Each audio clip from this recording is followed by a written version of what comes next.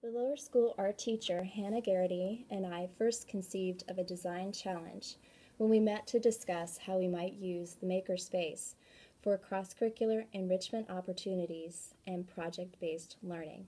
that are built into our regular school day.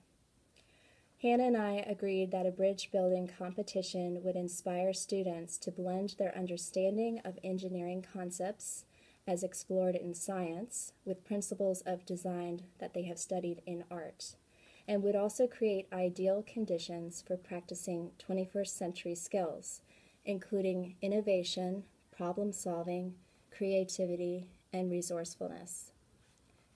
Hannah and I established basic parameters for bridge dimensions, materials, construction techniques, and engineering,